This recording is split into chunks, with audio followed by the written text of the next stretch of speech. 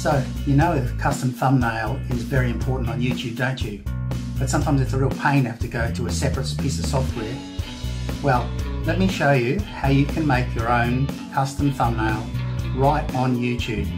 Stay tuned.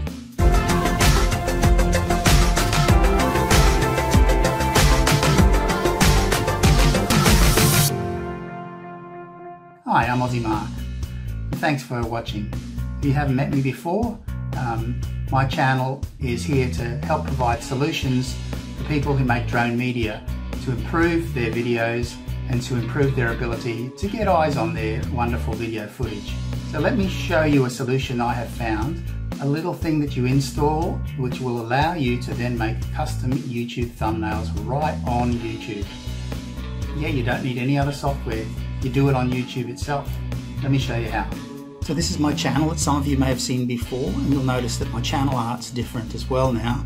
Um, I've tweaked that quite a bit and I will um, talk to you about that in uh, another video. Let's check these numbers up here because that's what's new. Look at those numbers there, it's showing me I've got 7 views in the last 60 minutes, 450 in the last 48 hours, 1.5 thousand views in the last 7 days and so on. I'll show you how I got those numbers to display there as well. For the time being we're going to go to videos and down to a video that doesn't have a thumbnail because that's the one that I want to show you how to make a custom thumbnail on YouTube. So with this new add-on that I'm going to show you at the end of the video, um, basically it's going to allow me to um, display a bunch of stats like these that you can see. This video is 31, 30.1 out of 100 as its vidIQ score um, for the popularity. It's got 101, 104 views and so on, and there's other stats as well. But to this custom thumbnail, let's click on Edit Video, and you know that you see down here where the normal custom thumbnail button is, but next to it now is Create Thumbnail that wasn't there before. So now I can, whoops, I'll stop this video. We can scroll through this video, which will allow me to pick the individual frame that I want to use as the background for my thumbnail. So I'm just grabbing the scroll bar, scrolling through slowly until I find the frame that I think would suit best to grab people's attention for this particular video, which I've called the best fishing spot or a great fishing spot. Now this is an attempt that I had earlier. I'm going to delete this off and show you how I did it. So I'll get rid of that um, this text here. I'm just going to click on text, go down to delete, click on that bit of text, down to delete. So to add a new text, this time I'm going to add a shape first that I'm going to put the text on. So I click on that button right there and it's going to show me, um, oh sorry, tell a lie, I'm clicking on image first. Now I could just add emojis if I wanted to and I might well come back to that actually. Um, no, what I'm going to do is I'm going to add one of my own images some a picture that I've already got stored on my um, pictures folder and I'm going to pop that in as part of my thumbnail. Now you could add a whole different picture if you didn't even want to use the picture that's uh, a frame from your video. I'm going to grab that one there, Aussie GIF, and there it is there. Now I can just grab that and drag that down to the corner where I want it and then I can resize it if I want. Um, that's going to uh, allow, whoops, we'll just grab a corner, slide that down. I'm just going to leave that sit in the corner. Now I'm going to go to shape that I was talking about earlier. And you can see it gives me a choice of rectangle, triangle, circle or ellipse shapes.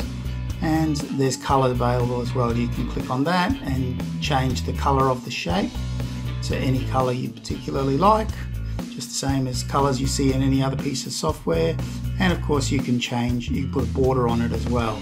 That could be any width just, just depending on what you want to choose there.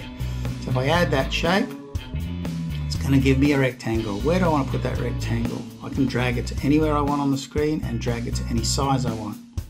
As you can see now I'm dragging it out from the side rather than the corner. I'm going to put it up here and I'm going to put text on top of that. Just adjust it so I feel happy with the look of it. I'm not going to bother putting a border around it this time. Now I'm going to click on text and enter the first lot of text that I want to have. It's the text that I want to display on top of that square. You don't have to have that square, but I mean the rectangle. You know? It's, it helps to grab people's attention if it's something strong bold to look at. So what am I putting in here? Best fishing spot I'm going to type in. That'll um, grab their attention because um, you know how many people love fishing. And rather than just have it black, I think I'll pick a red color for the color of the text. Okay, then I'm going to add text. There it is in the corner. Drag it down to where I want it to be. Now I could go over here to change the font size if I wanted, and that's what we'll do at the moment. Just scroll around looking for suitable text. No, I don't like the look of that one. Let's try something else. Uh, what else can I see that I think looks good? Um, oh, too many to choose from. Let's try that one. Yeah, that'll probably look alright, but geez, it's small. Now I could change the font size there. Too big, too small, too... So I can just grab the corner and drag and drop the size of that text to any size I want and position it right there. There you go, that's not too bad. And now I'm going to put another piece of text in. So I'll go back to text again. I'm going to put in a second piece of text. Just type it in that window. Uh, what am I putting in here? Um, from a drone, that's right. I want people to know that even though they're looking at a video of a best fishing spot, it's going to be an aerial video. And of course, using the word drone isn't going to do any harm if people are searching for drone videos on YouTube. So if you put it in your thumbnail, put it in your title, and you're a droner like me, then you're going to get more views that way. Okay, so I've changed the color to white. And um, let's see, yeah, it's all right. Probably want it a bit bigger though. Yep, drag it around, make sure it looks good. Up there, down there, it's hard to know. Um, yeah, that'll do. Okay. Yeah, I think I'm reasonably happy with that. Do you know what? I'm going to go back to those emojis that I saw before. I've got a space there in the middle. And I reckon if I put a big thumbs up uh, in the middle there, saying yes, this is a really good fishing spot, which it is, of course. And you do need that thumbnail to grab people's attention so that they'll watch the video. Grab a thumbs up, click on that emoji right there and drag it down to where I want it. Good. Yep. Of course you see I resized that to any size I want. Leave it there in the middle. Going to next and this is the second but last step. It's showing you what it's going to look like on YouTube as a thumbnail, on Facebook as a thumbnail, and Twitter. I could go back and adjust that, but all I'm going to do right now is just hit the save button. To create thumbnail, give it about 30 seconds and it'll appear as a thumbnail on YouTube. Done, pretty easy. Now, the question I guess you've been waiting for is, how do I get it, how do I get it installed on my YouTube? It's pretty easy, really.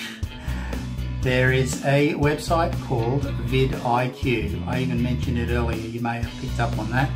You go to vidiq.com and you create a little account for yourself, download the free version, and of course there are paid versions that are going to allow you a lot more statistics.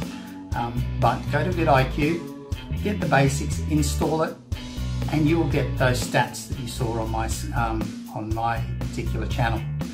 Uh, it gives you stats for every video, it gives you keyword search ability, so it'll actually provide you with suggestions for additional keywords that you can add to your keyword box underneath the video that you're editing to provide you with a greater opportunity of your videos popping up as suggested videos for other people to check out and therefore get more views on your wonderful footage. That's it.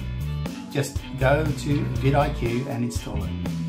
Well, if you found any of that helpful, and I hope you did, then I'd really love you to um, give me a thumbs up if you like the video, of course.